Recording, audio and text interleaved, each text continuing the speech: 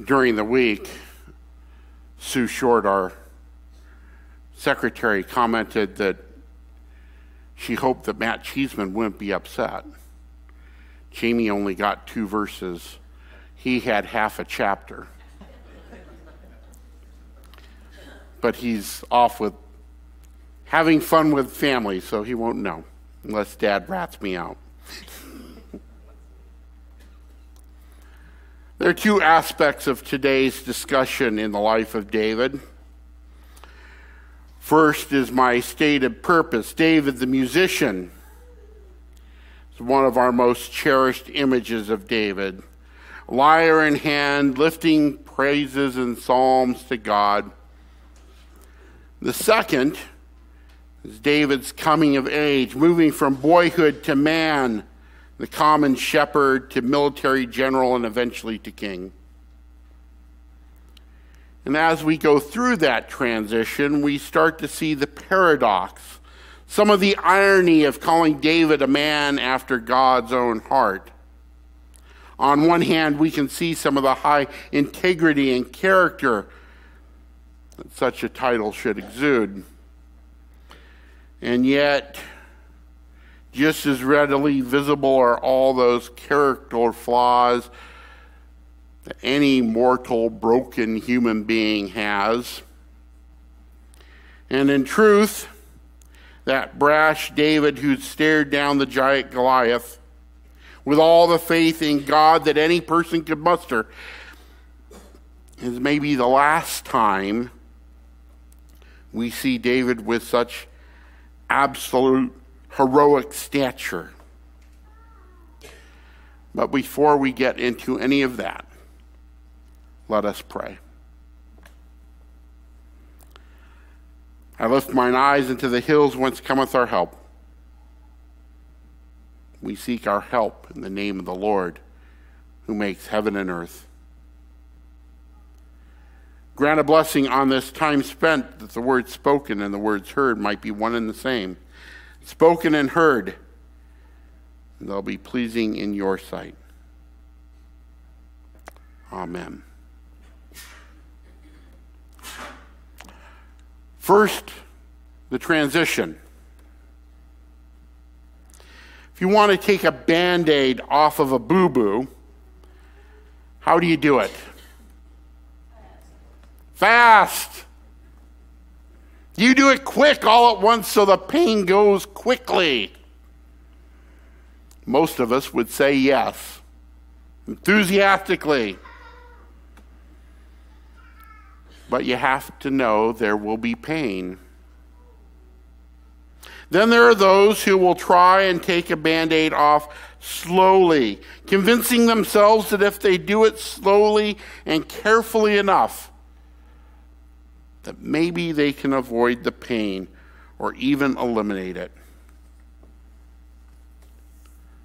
But It's my experience that that is hardly ever the case, and all that does is make the pain more pronounced and last longer.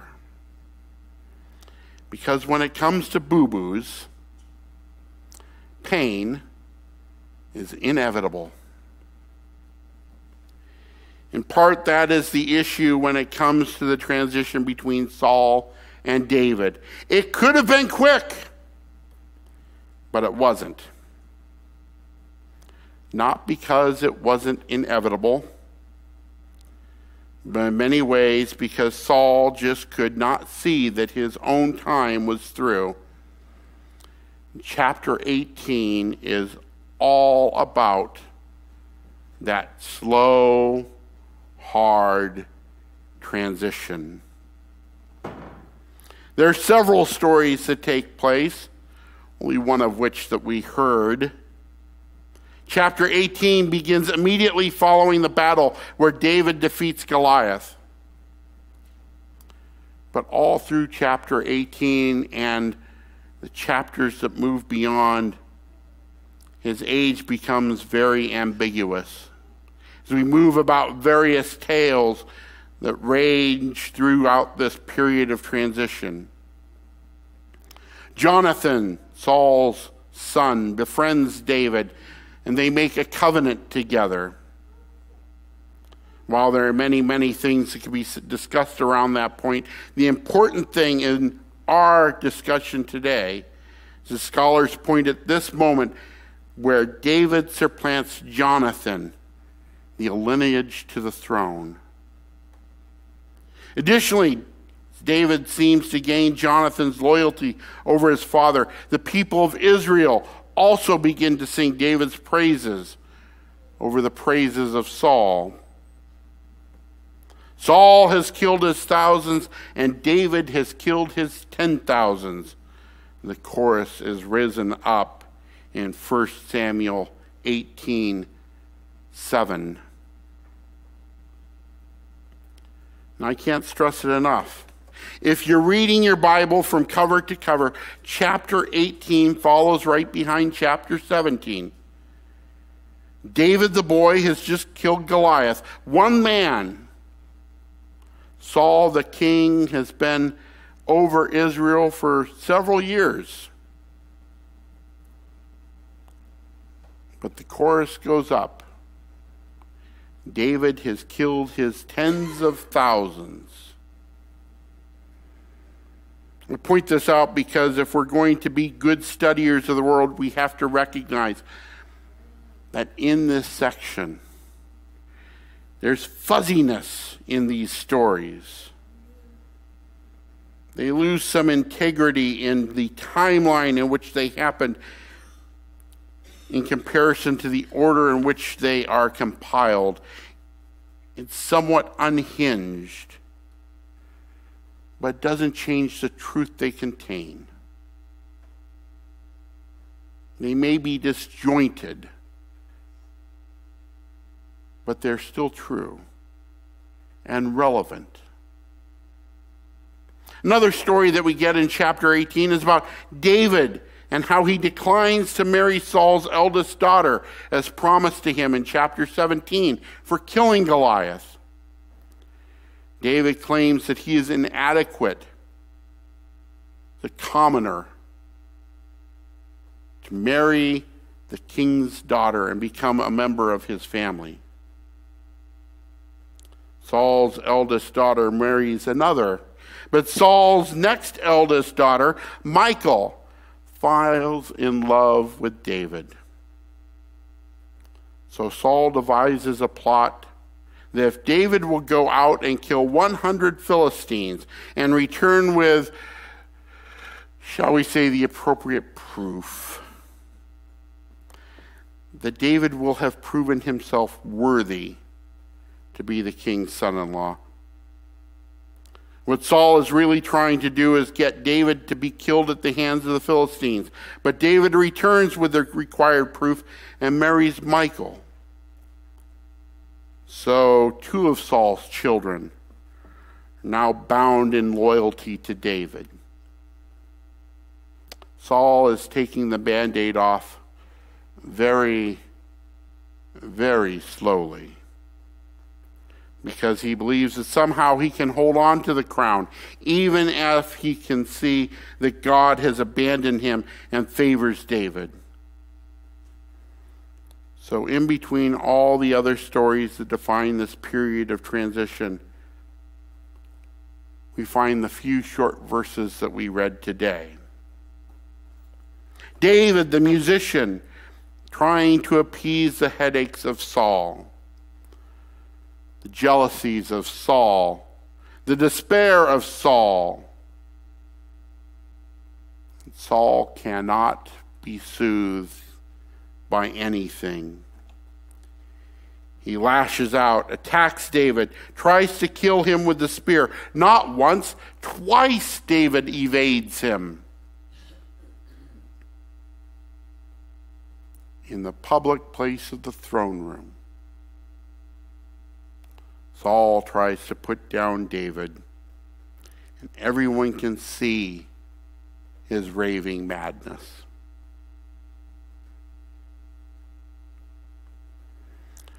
This transitions us more directly into the discussion of David the musician, which equally leads us into a discussion on the Psalms. Hopefully, no one will be overtly shocked in this day and age to hear that David did not write all the Psalms, or even a really whole lot of them. The book of Psalms is found in the Hebrew Bible is actually five books or scrolls that we conglomerate into one large book. Per the Hebrew tradition,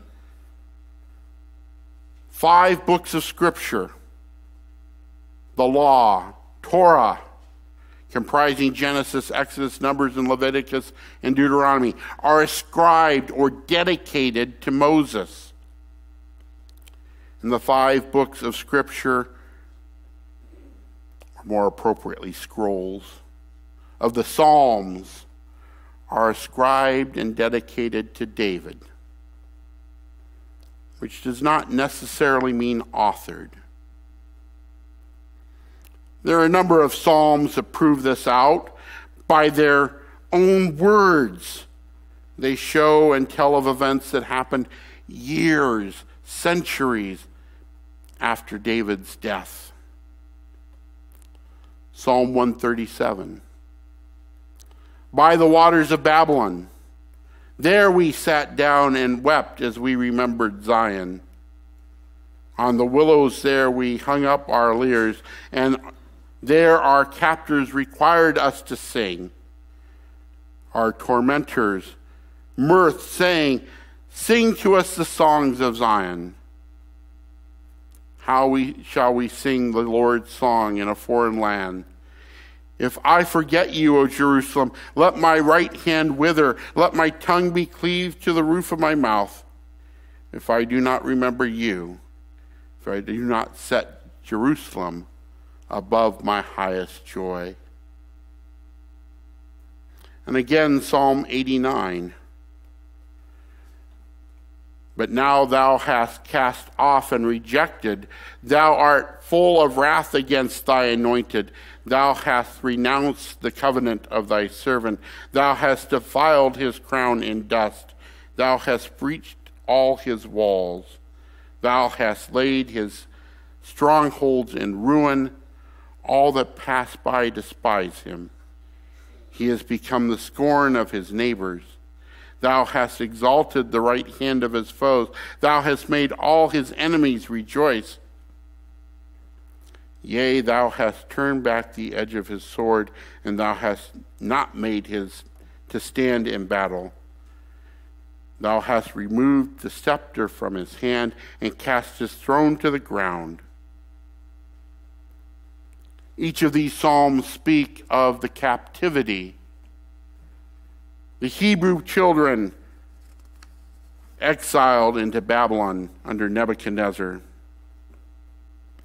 As Rabbi Louis Jacobs points out in his articles, needless to say, the question of dating the authorship is totally irrelevant to the value of the book of Psalms. It's a religious outpouring of the highest order, recognized by millions of worshipers, Jews, Christians, and others who use the Psalms to express their deepest emotion.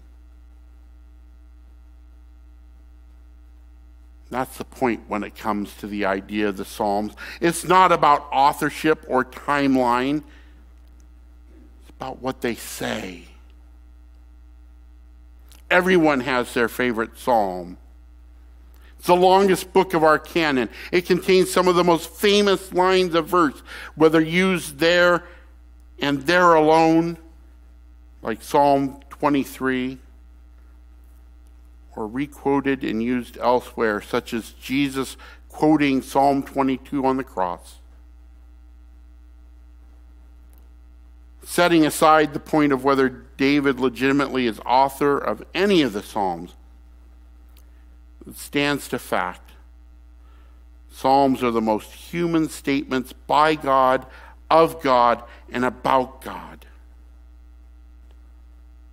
Of the Psalms, most of them are laments, calls out to a seemingly absent God,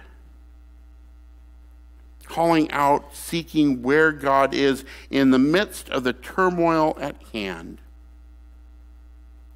15 corporate laments, 39 individual laments, 14 considered specialized laments for certain occasions. 29 psalms are considered prayers of thanksgiving. 35 are liturgies meant for worship. But 45% of all the psalms cry out in despair, seeking to find out why God has disappointed. This is not about faith in a God who is there for you. It is a faith in God that is absent of any discernible presence of God.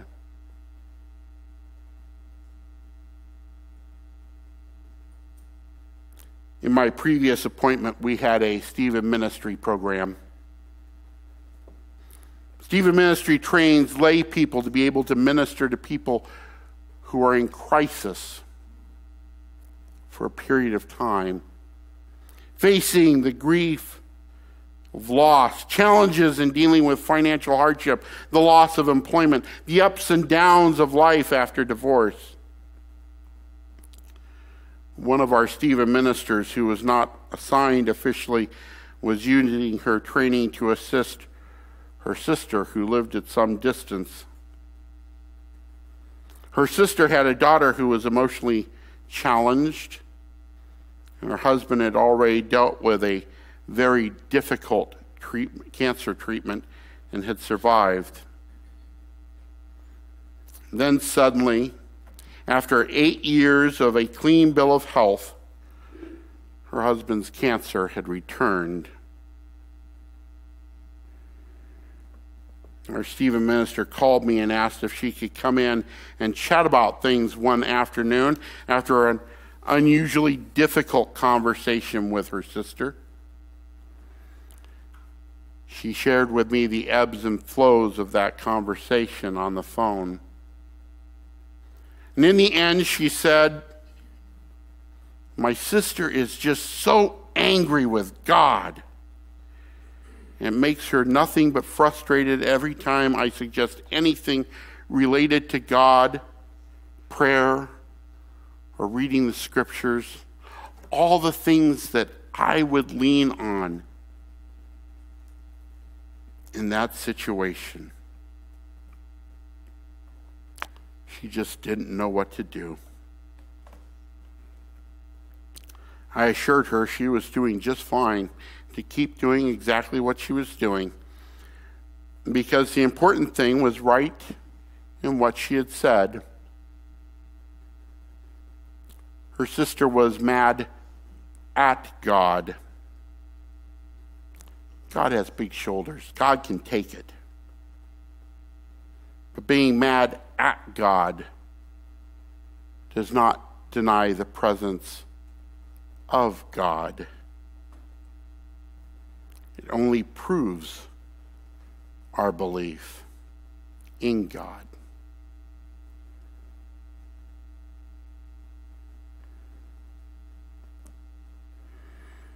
You see, David the musician, in our historical tradition, giving us the Psalms, we can see all of his stories all of the emotions, all of the ups and downs existing in the words and the poetry of the Psalms. And they give us permission to have all sorts of feelings when it comes to God.